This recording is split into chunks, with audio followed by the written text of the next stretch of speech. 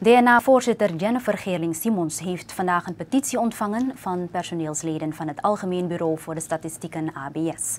Aanleiding voor het indienen van deze petitie is het uitblijven van een salariscorrectie. Het personeel vecht reeds twee jaren hiervoor, echter zonder enig resultaat. De hoop is nu gevestigd op Geerling-Simons. De ABS-werkers lieten zich vertegenwoordigen door vakbondsleider Robin Berenstein. De petitie is voorgelezen door de ABS-medewerker en bestuurslid Christel Koningverdraag. Gelet op het feit dat het personeel van het Algemeen Bureau voor de Statistiek reeds langer dan een maand in actie is, de kosten voor het levensonderhoud gestegen zijn, er op basis van de gestegen kosten aan de ambtenaren en aan hen gelijkgestelden een koopkrachtversterking is toegekend, er nog van de zijde van de minister van Financiën, nog van de vicepresident een bevredigende reactie is ontvangen op de diverse aanschrijven. Overwegende dat de Bond van Werknemers bij het Algemeen Bureau voor de Statistiek, WOABS, vanaf 2016 geen verhoging van het salaris heeft kunnen bewerkstelligen, zoals aangegeven in de door partijen overeengekomen collectieve arbeidsovereenkomst, terwijl de koopkracht met meer dan 70% achteruit is gegaan. De WOABS op diverse momenten aandacht hiervoor gevraagd heeft bij zowel de directeur van het ABS als de minister van Financiën, waaronder het ABS resorteert.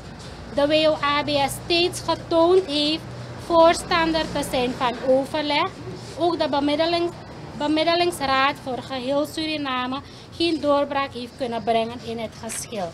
Het is duidelijk, uw onderhandelingen zijn dus niet goed gelopen en u vraagt aan de Nationale Assemblée om de aandacht van de regering te vragen uh, opnieuw aan tafel te gaan zitten met de bond. Ik zie wel nog ongeveer tien andere bonden hier. Betekent het dat u van ons vraagt dat de loonsverhoging die u vraagt ook voor die andere bonden gegeven wordt?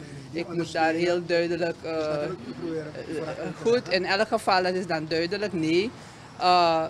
we gaan het natuurlijk, wat we doen met alle petities, nemen. We bestuderen het, we zetten het bij de juiste commissie en we praten rechtstreeks met de regering. Ik praat meestal rechtstreeks ook met de regering erover.